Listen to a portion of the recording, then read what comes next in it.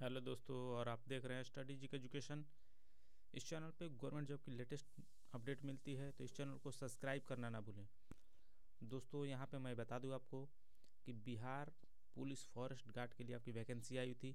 एक जनवरी से form भराना start हो गया था। इसका देखिए, जो ऑनलाइन फॉर्म भरा रहा है, इसका अंतिम तिथि यानी कि लास्ट डेट इकतीस जनवरी 2019 है। तो जिन लोगों ने फॉर्म नहीं भरा है, फॉर्म को जल्दी अप्लाई कर दें। क्योंकि लास्ट डेट हो चुका है डेट बढ़ाया नहीं जाएगा। इसमें आपकी पूरी प्रक्रिया, चयन प्रक्रिया के बारे में हम बात करेंगे फुल सिलेबस क्या है और किसके लिए कितना आरक्षण इसमें दिया जाएगा और कितना परसेंट आपको लाना इसमें ज़रूरी है, कितना परसेंट मार्क्स लाएँगे तो आपकी सिलेक्शन इसमें पक्की हो जाएगी। तो दोस्तों, यहाँ पे मैं बता दूँ आपको कि देखिए, यहाँ से आप जाके पूरा प्रक्रिया देख सकते हैं और जिन्होंने अप्लाई नहीं किया है, यहाँ से जाके अप्लाई कर सकते हैं। चलिए, पूरा प्रक्रिया हम यहाँ से देखेंगे। आपको ये भी सारी चीज़ें मैं बताऊँगा यहाँ पे कि कितना इसमें एज रहेगा। मिनिमम एज देखिए, यहाँ पे 18 वर्ष दिया गया है और आपका जनरल के लिए मैक्सिमम एज यहाँ पे 23 साल दिया गया है और ओबीसी के लिए 25 साल दिया गया है और एस सी के लिए कैंडिडेट के लिए यहाँ पे 28 साल एज दिया गया। क्वालिफिकेशन आपकी बारहवीं पास जो भी कर चुके हैं, जितने भी लोग हैं बारहवीं पास कर चुके हैं, वो अप्लाई कर सक, कर सकते हैं इसमें। वो हायर एजुकेशन क्यों न लिए हों, सभी लोग इसमें अप्लाई कर सकते हैं, लेकिन उनकी एज ज़्यादा नहीं होनी चाहिए अपने कैटेगरी में तो वो लोग अप्लाई कर सकते हैं। देखिए, यहाँ पे दो विभाग में ये भर्ती है। एक तो पर्यावरण विभाग में भर्ती है, वन एवं जलवायु परिवर्तन विभाग में ये भर्ती आई हुई है। ये आपकी गास्ट के लिए है। मेल और फीमेल दोनों लोग अप्लाई कर सकते हैं। ये फॉरेस्ट गार्ड की ये भर्ती है। मेल के लिए यहाँ पे मैं बता दूँ आपको कि जितने भी सीट हैं, उसमें से मेल और फीमेल के लिए सीट मैं बता दूँ कि यहाँ पे 35 परसेंट महिलाओं के लिए आरक्षित सीट किया गया है। तो 35 परसेंट आरक्षण रहेगा महिलाओं के लिए। इसमें पोस्ट कितने हैं? इसमें पदों की संख्या देखिए, इसमें 900 दो इसमें पद दिए हुए हैं, यानी पोस्ट वैकेंसी है। इसमें से 35 परसेंट महिलाओं के लिए आरक्षण रहेगा। तो चलिए यहाँ से देखिए, यहाँ से जाके हम पूरा सिलेबस यहाँ से देख सकते हैं। यहाँ से नोटिफिकेशन देख सकते हैं और यहाँ से जाके अप्लाई कर सकते हैं। जिन्होंने अप्लाई नहीं किया है, यहाँ से जाके इस लिंक से अप्लाई कर सकते हैं। रजिस्ट्रेशन करना है, उसके बाद फॉर्म आपको फिलअप करना है। इसके बाद आपको उसमें कितना आपको फ़ी फ़ी लगेगा, वो सारी चीज़ें आपको इसमें फिलअप कर देनी है। यदि आप इसका डिस्क्रिप्शन बॉक्स में, इस तीनों का डिस्क्रिप्शन बॉक्स में लिंक रहेगा, वहाँ से भी आप जाके इसको देख सकते हैं। तो चलिए एडवर्टाइजमेंट में जाके हम देख लेते हैं कि आपकी चयन प्रक्रिया क्या रहेगी इसमें, ठीक है? तो चयन प्रक्रिया के लिए हम यहाँ से एडवर्टाइजमेंट में जाएँगे। यहाँ से जाके पूरा हम चयन प्रक्रिया के बारे में हम देखेंगे। तो चयन प्रक्रिया में हम तीन चीज़ें देखेंगे। पहला चीज़ इसमें देखेंगे कि क्या क्या सब्जेक्ट आपके क्वेश्चन पूछे जाएँगे, कितने क्वेश्चन पूछे जाएँगे। और दूसरा देखेंगे कि इसमें आपकी, इसमें चिकित्सक जाँच क्या किया जाएगा, आपकी चिकित्सक जाँच होगी या नहीं होगी। और इसमें निगेटिव मार्किंग रहेगी, नहीं रहेगी, ये सारी चीज़ें हम देखेंगे। ठीक है? देखिए दोस्तों, यहाँ पे जो आपका पहला चरण होगा, पहले चरण में आपकी ऑब्जेक्टिव टाइप क्वेश्चन पूछे जाएँगे। ऑब्जेक्टिव टाइप क्वेश्चन जो होंगे आपके, वो सौ मार्क्स के क्वेश्चन आपके होंगे। यहाँ सौ मार्क्स के क्वेश्चन होंगे, दो घंटे का पेपर इसमें कराया जाएगा। लेवल इसमें आपके जो होंगे वो इंटरमीडिएट के लेवल के क्वेश्चन पूछे जाएँगे और आपके मैट्रिकुलेशन के लेवल के क्वेश्चन पूछे जाएँगे। ठीक है? मैट्रिकुलेशन के लेवल के क्वेश्चन आपके पूछे जाएँगे। इसमें हिंदी पूछा जाएगा, सामान्य विज्ञान सामान्य विज्ञान से क्वेश्चन रहेंगे सामान्य आपके जीएस से क्वेश्चन है जनरल स्टडी से क्वेश्चन रहेगा करंट अफेयर से क्वेश्चन रहेगा, कुछ संख्या पर आधारित प्रश्न रहेंगे मैथ से दसवीं क्लास से। तो ठीक है, ये सारी चीज़ें हम देखते हैं। दो घंटे का पेपर होगा।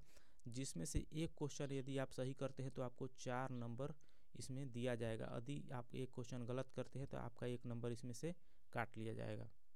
देखिए, चार चार डिवीज़न में इसको बांटा गया है। पहला भाग इसमें जो तीस क्वेश्चन रहेंगे, उसमें से आपको राष्ट्रीय और अंतर्राष्ट्रीय महत्व, समय समय की से, घटना से करंट अफेयर्स पूछे जाएँगे। उसके बाद भारतीय इतिहास से क्वेश्चन पूछे जाएँगे। उसके भारतीय अंतर्राष्ट्रीय आंदोलन से पूछे जाएँगे, भारतीय राष्ट्रीय आंदोलन से पूछे जाएँगे, भूगोल से पूछे जाएँगे, और भारतीय राजतंत्र, शासन और आर्थिक, यानी कि सिविक्स हिस्ट्री से क्वेश्चन पूछे जाएँगे आपके पॉलिटी से पूछे जाएँगे क्वेश्चन यानी कि यहाँ पर देखिए, सामाजिक विकास से क्वेश्चन पूछे जाएँगे, इससे संबंधित क्वेश्चन आपसे पूछे जाएँगे। और यहाँ पे दूसरा जो भाग इसमें दिया हुआ है, दूसरे भाग में पच्चीस क्वेश्चन पूछे जाएँगे, दसवीं क्लास से क्वेश्चन पूछे जाएँगे यहाँ पे संख्यान पे आधारित क्वेश्चन होंगे, संख्यान पे आधारित और आंकड़ों से, आंकड़ों का निर्वाचन से क्वेश्चन आएँगे यहाँ पे। आंकड़ों की पर्याप्तता से क्वेश्चन संबंधित ये सारी प्रश्न रहेंगे। वो क्वेश्चन आपके पच्चीस क्वेश्चन आएँगे और देखिए भाग तीसरे में जो पच्चीस क्वेश्चन पूछा जाएगा वो सामान्य विज्ञान से क्वेश्चन पूछा जाएगा, पर्यावरण परिस्थितिकी जैव विविधता, जलवायु परिवर्तन, सामान्य मुद्दों से ये सब क्वेश्चन पूछे जाएँगे आपके। इसके बाद जो भाग चार रहेगा, हिंदी से प्रश्न पूछे जाएँगे। इसके सिलेबस की बात बात कर लेते हैं कि कहाँ से ये सब सारी चीज़ें, ये तो पूरा एक नोट्स के अनुसार ये दिया हुआ है। इसके, जैसे मान लीजिए यहाँ पे दिया हुआ है कि ये तीस प्रश्न पूछे जाएँगे राष्ट्रीय और अंतर्राष्ट्रीय महत्व से तो ये पूरी इसके डिटेल्स हम देखेंगे, पूरा सिलेबस के बारे में देखेंगे। उससे पहले हम देख लेते हैं और सारी चयन प्रक्रिया जो आपकी है, लिखित एग्ज़ाम जो ये कराई जाएगी, इसके बाद आपके यहाँ पे शारीरिक जो लोग लिखित परीक्षा में पास हो जाएँगे, उनकी यहाँ पे शारीरिक जाँच के लिए बुलाया जाएगा। और शारीरिक जाँच में सारी प्रक्रियाएँ होंगी, लेकिन उससे पहले मैं आपको बता दूँ कि लिखित परीक्षा में कितना नंबर लाना आपको ज़रूरी है। देखिए, यहाँ पे सामान्य वर्ग के लिए 40 परसेंट अंक लाना है, यानी कि 100 में से 40 नंबर लाना आपको कटअप पार करने के लिए ज़रूरी है। ये कटअप पार करने के लिए ज़रूरी है। यदि आप जितना ही ज़्यादा नंबर लाते हैं, लाएँगे तभी आपका सिलेक्शन इसमें पक्का माना जाएगा। अंक के आधार पे इसमें और जाति कोटि के आधार पे इसमें सिलेक्शन लिया जाएगा, ना कि आपके चिकित्सा के अनुसार। इसमें यानी कि आपके शारीरिक क्षमता और जाँच के अनुसार लिया जाएगा। इसमें आपकी अंक के अनुसार इसमें आपका सिलेक्शन होगा। और देखिए, पिछड़ा वर्ग में आपके छत्तीस दशमलव पाँच परसेंट इसमें अंक लाना ज़रूरी है कटअप पार करने के लिए। और देखिए, अत्यंत पिछड़ा वर्ग के लिए यहाँ पे दिया हुआ चौंतीस परसेंट। अनुसूचित जाति, अनुसूचित जनजाति और पिछड़ा वर्ग के महिलाओं एवं दिव्यांगों के लिए यहाँ पे बत्तीस परसेंट निर्धारित किया गया है लिखित परीक्षा में अंक। इसके बाद देखिए यहाँ पे शारीरिक क्षमता, जो इस कटअप को पार कर जाएँगे, उनको शारीरिक दक्षता में बुलाया जाएगा। यदि जो लोग इसको नहीं पार करते हैं, उनको नहीं बुलाया जाएगा। देखिए जो चयन प्रक्रिया आपकी होगी, उसमें दो गुना, यानी कि 900 दो पोस्ट के लिए आपकी भर्ती है। इसमें दो गुने यानी कि अनुपात में आपको बुलाया जाएगा, यानी कि 1804 विद्यार्थियों को बुलाया जाएगा आपकी। उसके बाद देखिए, यहाँ पे जो मुख्य आपकी द्वितीय जो इसमें दिया हुआ है, शारीरिक जो एग्ज़ाम होगी, इसके बाद आपकी मेघा सूची तैयार की जाएगी। मेघा सूची जो होगी आपकी, यहाँ पे देखिए, अंक के आधार पे और कोटि के आधार पे तैयार किया जाएगा आपका मेघा सूची। इसके बाद आपकी पूरा सत्यापन किया जाएगा डॉक्यूमेंट वेरिफिकेशन किया जाएगा, उसके बाद आपकी चयन प्रक्रिया कर ली जाएगी। तो चलिए सिलेबस देख लेते हैं, पूरा सिलेबस के डिटेल्स फुल सिलेबस क्या क्या है इसमें। यहाँ से चलिए देख लेते हैं पूरा आपका चयन प्रक्रिया में क्या क्या सिलेबस जैसे देखिए यहाँ पे दिया हुआ है। यहाँ पे देखिए भाग पहले में तीस क्वेश्चन आएँगे, जो एक एक सौ बीस मार्क्स के रहेंगे। अंतर्राष्ट्रीय अंतर्राष्ट्रीय महत्व पे यहाँ पे देखिए चार प्रश्न पूछे जाएँगे, जो चौबीस नंबर के रहेंगे। एक प्रश्न चार मार्क्स का रहेगा। यहाँ पे देखिए भारतीय इतिहास और भारतीय राष्ट्रीय आंदोलन से जो क्वेश्चन पूछे जाएँगे छः क्वेश्चन पूछे जाएँगे, जो चौबीस मार्क्स के होंगे, यानी कि एक क्वेश्चन चार मार्क्स से रहेंगे। यहाँ भूगोल जो पूछा जाएगा, वो बिहार से आपका क्वेश्चन रहेगा, बिहार की भूगोल रहेगी। और यहाँ पे भारत और विश्व में, विश्व का प्रकृति से क्वेश्चन आएगा।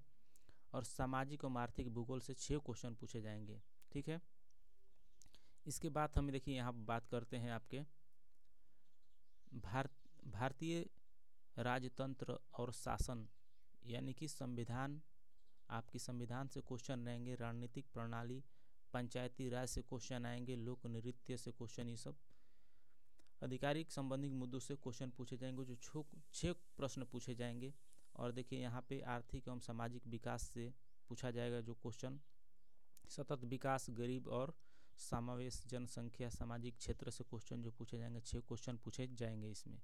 आपको जो यहाँ भाग जो आपका दूसरा रहेगा, यहाँ भाग दो रहेगा जिसमें प्रश्न जो आपके पूछे जाएँगे, पच्चीस प्रश्न पूछे जाएँगे, सौ मार्क्स के आधारभूत जो जनसंख्या से, संख्यान से पूछे जाएँगे। संख्या पे उनसे संबंधित प्रश्न पूछे जाएँगे। दसवीं क्लास कक्षा के ये प्रश्न पूछे जाएँगे। जैसे आंकड़ों का निर्वाचन, जैसे चार्ट, पाई चार्ट जो होता है आपका, ग्राफ तालिका होता है, आंकड़ा, आंकड़ों से संबंधित इसमें प्रश्न रहेंगे जो आपके यहाँ पे पंद्रह प्रश्न पूछे जाएँगे। और तार्किक कौशल से क्वेश्चन जो पूछे जाएँगे, वो यहाँ पे विश्लेषणात्मक प्रश्न रहेंगे, वो आपके पाँच प्रश्न पूछे जाएँगे। इसके बाद सामान्य मासिक क्षमता से पाँच प्रश्न पूछे जाएँगे, यानी कि आपके रीजनिंग से क्वेश्चन जो पाँच पूछे जाएँगे वो बीस मार्क्स के यहाँ पे रहेंगे। तीसरा भाग यहाँ पे देख लीजिए आप, सौ मार्क्स पच्चीस क्वेश्चन सौ मार्क्स का सामान्य विज्ञान से आपके बीस प्रश्न रहेंगे। सामान्य विज्ञान यानी कि साइंस से बीस प्रश्न रहेंगे। पर्यावरण, परिस्थिति की जैव विविधता एवं जलवायु परिवर्तन, ये सब मुद्दों पे जो क्वेश्चन आएँगे आपके पाँच प्रश्न आएँगे। इसके बाद जो भाग चार रहेगा भाग चार में यहाँ पे देख लीजिए, हिंदी क्वेश्चन पूछे जाएँगे। और हिंदी में आपकी हिंदी भाषा के विचार से क्वेश्चन रहेंगे। आपके यहाँ पे गद्य और यहाँ पे शब्द भंडार, हिंदी व्याकरण से क्वेश्चन पूछे जाएँगे। ठीक है तो ये सारी पूरा आपकी सिलेबस रही। और यहाँ पे इंग्लिश में भी दिया हुआ है, जो लोग इंग्लिश में देखना चाहते हैं वो देख सकते हैं। इसका डिस्क्रिप्शन बॉक्स में लिंक रहेगा, वहाँ से आप जाके पूरा डिटेल्स देख सकते हैं। तो वीडियो देखने के लिए धन्यवाद दोस्तों, जो लोग अभी अप्लाई नहीं किए हैं वो लोग जल्दी से जाके अप्लाई कर दें, क्योंकि डेट बढ़ने वाला नहीं है, इकतीस जनवरी तक ही लास्ट डेट रहेगा। आज हो गया आपका अट्ठाईस जनवरी। तो मैं ये एक्सपेक्ट करता हूँ कि आप लोग सौ लाइक ज़रूर करेंगे वीडियो पे लाइक ज़रूर करें, इससे हमारा मनोबल बढ़ेगा और पता भी चलेगा कि लोग वीडियो को पसंद करते हैं।